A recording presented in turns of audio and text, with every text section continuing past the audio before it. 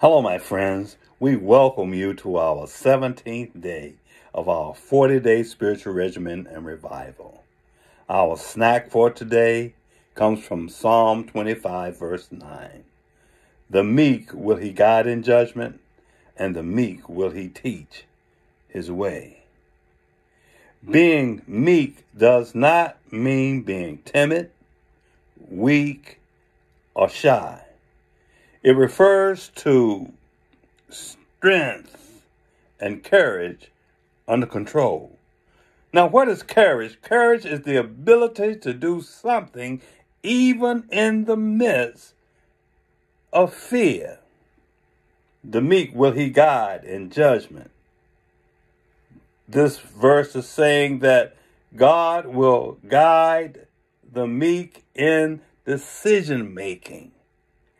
And the meek will he teach his way. Not only will God guide you, but he will also teach you his way. The meek rely on God for direction, and anybody who relies on God for direction will never be disappointed. The meek will he guide in judgment, and the meek will he teach his way. Looking forward to seeing you tomorrow on our 18th day of our 40 day spiritual regimen and revival for another snack time with Pastor Mac. Love you all. Bye bye.